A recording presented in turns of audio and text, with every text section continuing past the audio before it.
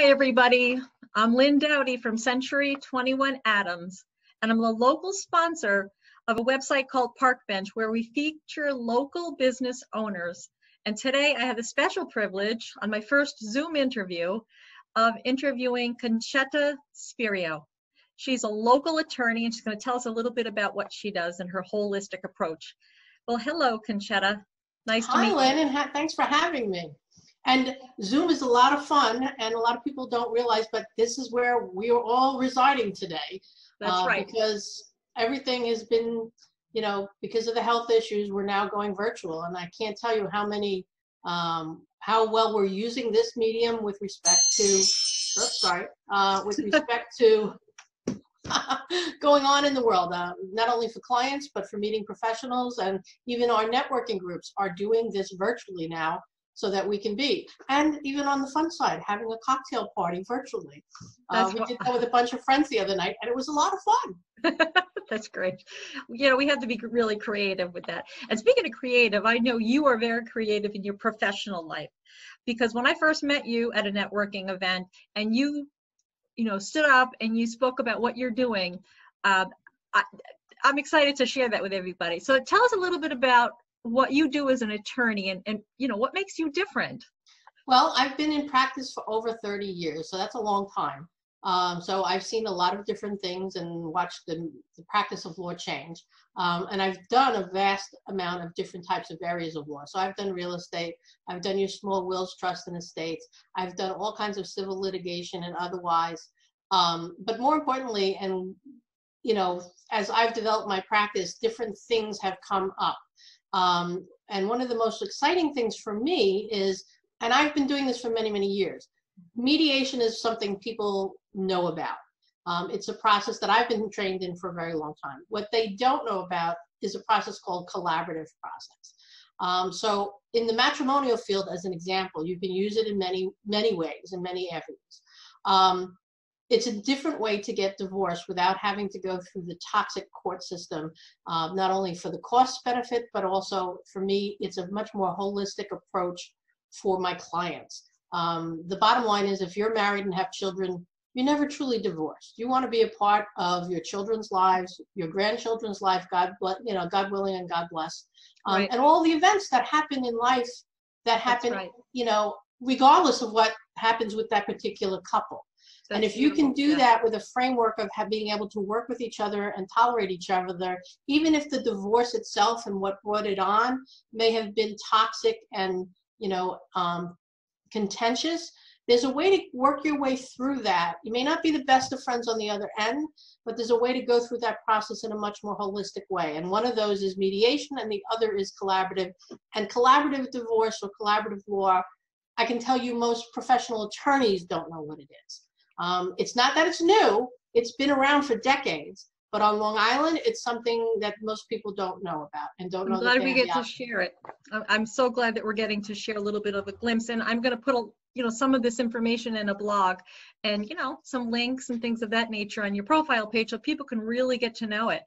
Um, One of the things I will give you also, Yeah. Lynn, uh, which I didn't think of, uh, I'm going to give you a website that is a group of professionals like myself that have dedicated themselves to this process.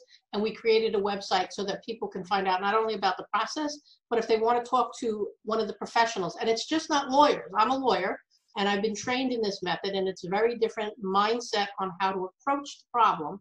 But there are also financial professionals as well as mental health professionals that are part of this process because you work as a team uh, with the clients um, to get through this process. And it's a, it's much more cost effective than doing a litigated divorce where everybody's in the court. And a lot of people don't realize, do you really want your relationship, you know, you know, played out in a courtroom? It can be very, very intimidating and very scary and very ugly. Um, and It's good for people to know. it is, and and people don't realize the cost that is involved because if you're going through a collaborative process or a mediation process, then you can control the process, and the process is much more focused on the client. If you're in the court system, you're on the court's calendar and you have to, you know, do what the court dictates. And that many times is sitting around for hours in the courthouse until you get a few minutes of the judge's time to check in on your case. And Oh, then you get another date for three or four weeks down the road. So, and it gets protracted and, uh, you know, un- unfortunately, nobody gets divorced for free. But, and if you use a professional that's seasoned like me, the hourly rates can get up there. And if you use me in a, in a litigated sense, it's going to cost you a hell of a lot more than if you use a holistic approach.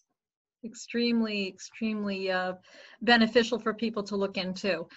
Uh, so let me just ask you a little bit about your hobbies. Uh, What what Ooh. else makes you happy in life? What do you like to do? I like lots of things. Um, I've become passionate. I've always been, let me say this, I'm Italian, okay? So, and my mother's Belgian, but she cooked better than most Italians I know. Um, so food was always a passion in my house. Um, not only the eating of it, but the, the, the creation of it from good scratch, home cooked meals. So in my house, when I grew up, there was no going out to dinner. There was, my mother cooked a, a meal that had two fresh vegetables, not out of the can. Uh, that's just how I grew up. Uh, so I have a passion for cooking, as some people know that I, I am also doing Pampered Chef, and I have a, a, a Facebook personality, so to speak, with respect to that. That's great. Uh, That's a healthy balance. It is, you know, and I have to say, it's not something that I thought I would have gotten involved with, but I was very fortunate that somebody asked me to take on this opportunity. And I found that it's a nice side diversion from my law practice. Because I have a, I have to cook anyway, so to some extent, and it's it's fun, it's passionate, and I actually do cooking parties. So not right now, we're doing them virtually. But that's right. That's right. Well, um, is there anything else that you want to share, uh, you know, before we go that um, y- y- a- about what you're doing right now? Maybe, maybe what your goals are for the very near future? Well, I want everybody to know that there are a lot of professionals like myself out there that are trying to help the public deal with what's going on. So if anybody has any questions, I mean, you can check out my website, which is spiriolaw.com. Uh, there's information and there's even a video about how the collaborative process works. But uh, I have a, what I call an open phone policy. If you have a problem and you need a lawyer's advice or information, you can contact me and I'll try to help you. I don't necessarily give free legal advice. I'm not allowed to do that. I have to represent somebody before I can give them legal advice. But if you need, you have a problem, I can either, if I can't handle it and don't know the answer to it, then I can at least, you know, put you in the right direction or put you in the hands of somebody. And even if you have a question that you don't know where to go with, um, I've been around for a very long time. So, um, and I'm seasoned in a lot of different areas. Um, you're free to call. You know what? I just feel like anybody out there can say, you know, hey, I've got a friend on the other end of the phone because now we've met you and uh, I appreciate this time. And if anyone would like more information about Concetta, uh, you can find all of her information in the blog and she will have a profile page. And um, if anyone would like to be interviewed, uh, please give me a call.